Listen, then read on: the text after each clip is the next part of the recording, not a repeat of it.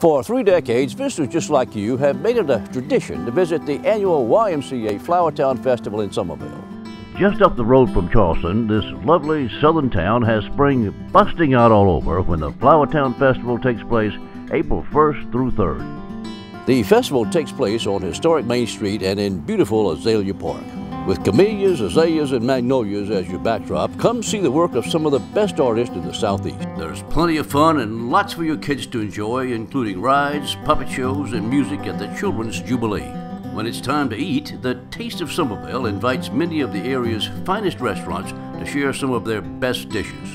The YMCA Flowertown Festival is considered one of the Southeast Tourism Society's top 20 events, and it only takes 25 minutes to get here from downtown Charleston.